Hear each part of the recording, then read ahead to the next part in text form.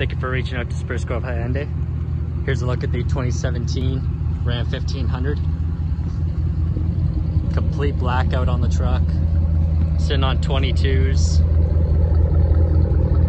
Has some exhaust work done to it. Box liner.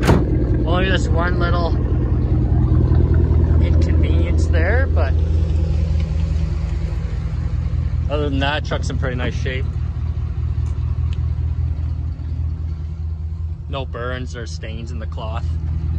Power locks, windows. Truck has just under 51,000 on it. Got a couple radio adjustments there.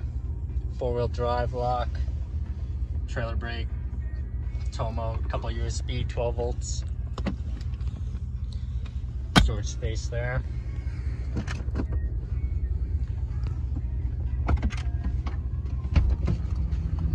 This truck's fairly loud.